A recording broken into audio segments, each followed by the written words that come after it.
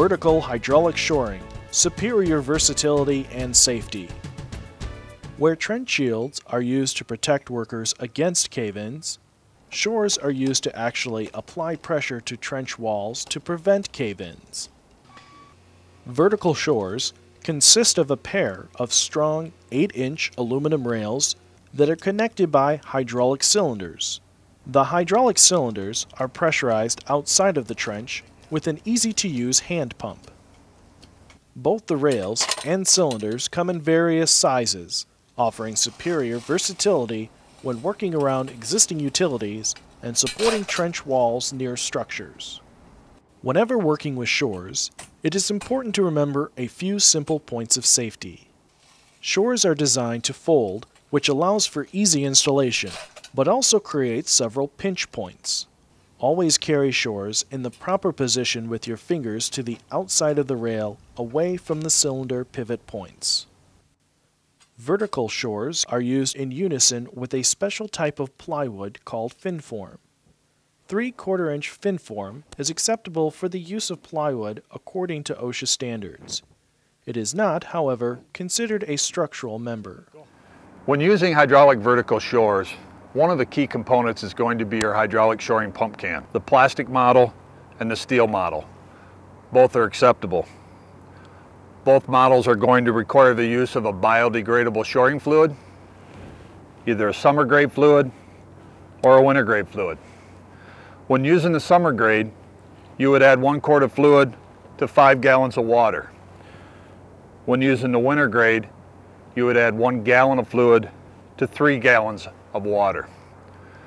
Please note that the use of diesel fuel and hydraulic oil are not acceptable before you can put the pump can into service, the pump can must be tested. That includes either the steel model or the plastic model. Both are tested in the same fashion. Release the quick coupler, turn the quarter turn valve counterclockwise, stroke the can two times or until the gauge reads between 750 and 1500 pounds. Allow the gauge to stabilize which this is done at 1,000 pounds. Wait 10 to 15 seconds. This can is stabilized at 1,000 pounds. Therefore, I can release the pressure and this can is ready to put into service. Two different tools will help you position the shore, the release tool and the removal hook. Lay the shore down with the fitting side of the cylinder next to the ground. The hose fitting will slide over the quick coupler fitting on the cylinder. Place the release tool under the handle and fold the shore down. Pick up the handle and the release tool and walk the shore into the trench. After the shore is properly positioned, close the quarter turn valve and begin pumping the fluid into the cylinder. Pump the cylinder until the pressure gauge reads into the green area or approximately 750 psi. Watch the pressure gauge for a moment to make sure the cylinder is maintaining the proper pressure. Do not allow someone in the trench if the gauge does not hold the pressure. Now that the shore is in the trench, use the release tool to pop the hose off the quick coupler. Pull the hose out of the trench and hook it up to the pump can, keeping the fitting on the end of the hose out of the dirt. Every job should have a competent person assigned to the project. One of the jobs of the competent person is to make sure that the shoring is properly installed. A good rule of thumb, the top cylinder should be somewhere between one to two feet from the top of the trench, and the bottom cylinder should be no farther than four feet from the bottom of the trench.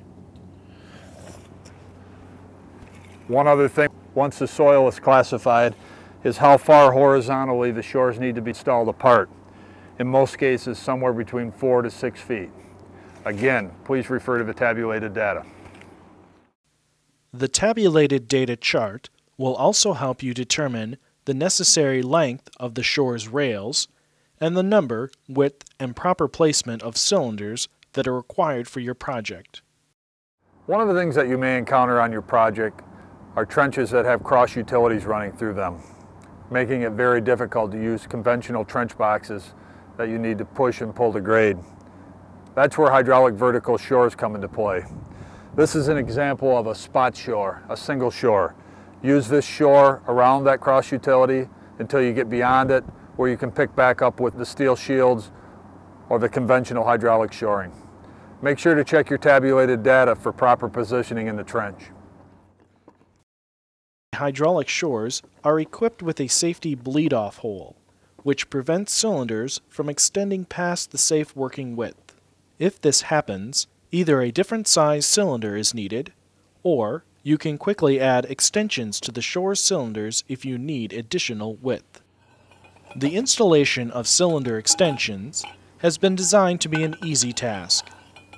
Take out the cotter pins that hold the rail pins, and then take out the clipped head rail pins and remove the socket rail. The socket pads are also held together by small keepers. Take out the small socket pin and the socket pad and repeat the operation for the other cylinder. At this point, the oversleeves will slide right off. The cylinder extension will slide right onto the cylinder. These extensions also have the small circle cotters.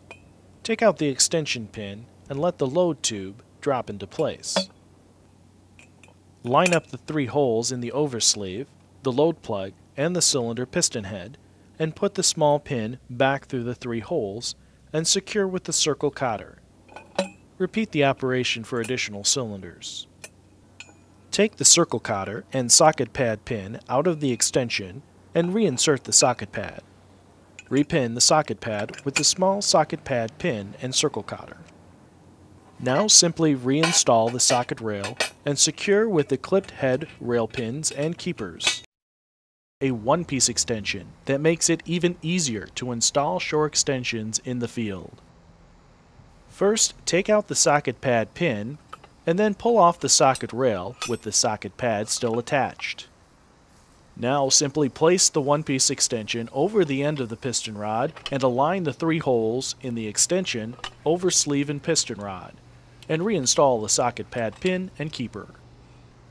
Remove the socket pad from the socket rail by pulling out the clipped head rail pin. Reinstall the socket rail over the one-piece extension and resecure with the clipped head rail pin and keeper. Your shore is now extended and ready for use. The removal of shores should be followed closely with the backfilling of the trench. To remove the shores, we must first release the pressure in the cylinders. About a cup of biodegradable fluid, which is 95% water, will be discharged into the trench. As the shore collapses, the worker will catch the shore with the release tool and removal hook. Hold the rail farthest away with the removal hook and allow the shore to fold. Walk away from the trench and pull the shore out.